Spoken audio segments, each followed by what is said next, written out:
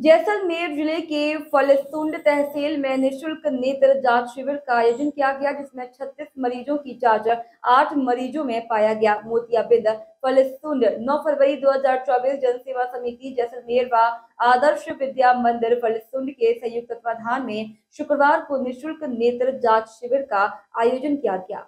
प्रवक्ता अमृत भूतरा ने बताया कि सेठ अज्ञा राम तावरी नेत्र जाँच केंद्र पंचायत भवन फलसूंड में शुक्रवार को आयोजित निशुल्क नेत्र जाँच शिविर में छत्तीस मरीजों की आँखों की जाँच। ऑटोमेटिक जापानी मशीन द्वारा कर परामर्श दिया गया। उसमें आठ मरीजों के मोतियाबिंद पाया गया।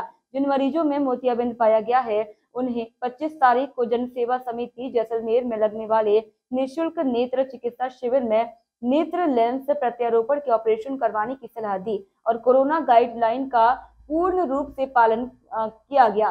और बता दें कि एक मरीज़ का ऑपरेशन होने के बाद आज वापस रूटीन चेकअप हुआ है। समिति अध्यक्ष डॉक्टर दाऊलाल शर्मा ने बताया कि जन सेवा समिति द्वारा हर महीने की 25 तारीख को आयोजित निशुल्क नेत्र चिकित्सा शिविर में मोतियाबिंद के लेंस प्रत्यारोपण, ऑपरेशन, दवाई, काला चश्मा आदि निःशुल्क किया जाता है।